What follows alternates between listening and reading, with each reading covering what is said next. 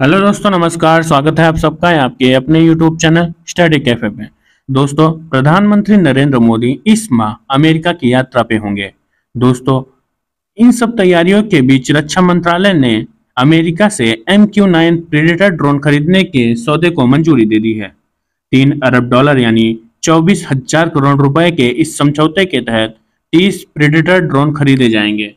दोस्तों, इस पर अभी अंतिम फैसला आना बाकी है। अभी कैबिनेट द्वारा फैसला लिया जाएगा।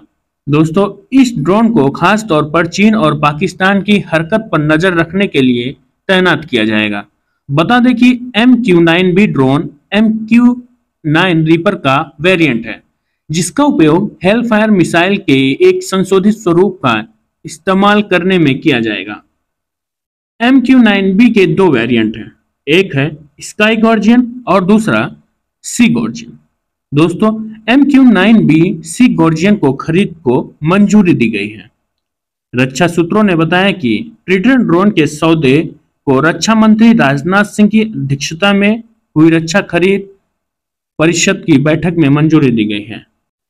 दोस्तों, रक्षा खरीद पर निर्णय लेने के लिए डीएससी रक्षा मंत्रालय में सर्वोच्च निकाय है। सीसीएस द्वारा उस पर अंतिम स्वीकृति दी जाती है। भारतीय नौसेना को इस सौदे से सबसे ज़्यादा फ़ायदा होगा। उसे निगरानी के लिए कुल चौदह ड्रोन दिए जाएँगे। दोस्तों, इसके अलावा थल सेना और वायु सेना को आठ आठ ड्रोन मिलेंगे। अमेरिका और इसराइल के अलावा किसी और के पास इतने बेहतरीन और आधुनिक ड्रोन नहीं है। बता दें कि प्रधानमंत्री नरेंद्र मोदी 21 से 24 जून तक अमेरिका के दौरे पर जाने वाले हैं। वहाँ व्हाइट हाउस में अमेरिकी राष्ट्रपति जो बाइडेन उनकी मेजबानी करेंगे। दोस्तों hunter killer unmanned aerial vehicle के इस ड्रोन की सबसे बड़ी खासियत है कि दुश्मन को इसके आने जाने की भनक तक नहीं लगती। इस ड्रोन के पंखे की लंबाई 20 मीटर है, जबकि इसकी लंबाई 11 मीटर है। यह ड्रोन 35 घंटे लगातार उड़ान भर सकता है। हवा में 444 किलोमीटर प्रति घंटा की रफ्तार से उड़ सकता है। ये पचास हज़ार फीट की ऊंचाई तक उड़ान भर सकता है। ड्रोन हेलफायर मिसाइल व बॉम्ब समेत 1746 किलो के वज़न को अपने साथ लेकर उड़ने में सक्षम है। दोस्तों, एक बार उड़ान भरने के बाद करीब 1900 किलोमीटर तक निगरानी कर सकता है। अन्य ड्रोन की तुलना में अधिक दूरी तक उड़ान भरने और किसी भी एयरक्राफ्ट की तुलना में मिशन को सफल बनाने में अधिक सक्षम है। दिन हो या रात स्काई गॉर्जियन और सी गॉर्जियन की मदद से ये किसी भी हालत में पूरी गति से साफ़ वीडियो प्राप्त कर सकता है। दोस्तों M Q nine B drone को भारत की राष्ट्रीय सुरक्षा और रक्षा जरूरतों की दृष्टि से महत्वपूर्ण माना जा रहा है। वर्तमान में भारत के अपने पड़ोसी देशों, चीन और पाकिस्तान से रिश्ते तनावपूर्ण हैं। इस लिहाज से ये ड्रोन मिलने से सेना की ताकत बढ़ेगी।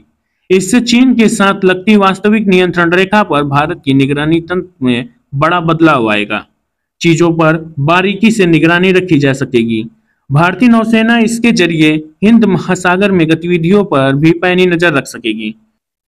दोस्तों, इसी ड्रोन की मदद से अमेरिका ने दो आतंकी मारे थे, सुलेमानी और जवाहरी को।